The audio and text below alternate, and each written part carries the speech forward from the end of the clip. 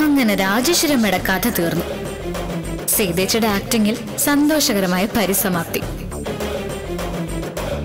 Doctor.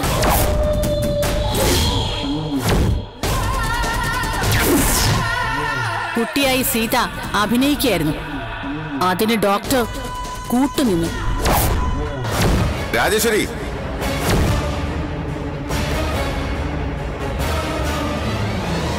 സത്യം പറയുന്നതാണ് ഡോക്ടർക്ക് നല്ലത്. സീതയ്ക്ക് ഡോക്ടർ എഴുതിയ മെഡിസിൻസ് വിശദമായിട്ട് പരിശോധിച്ച് കഴിഞ്ഞാൽ എന്തിനാ ഇതൊക്കെ ചെയ്തത്? എന്തിനാ എന്നെ കൊല്ലാൻ വേണ്ടി സീതയുടെ കയ്യിൽ തോക്ക് കൊടുത്തത്? എനിക്കറിയണം. എന്തിനാ അമ്മ എന്നെ കൊല്ലാൻ പ്ലാൻ ചെയ്തത്?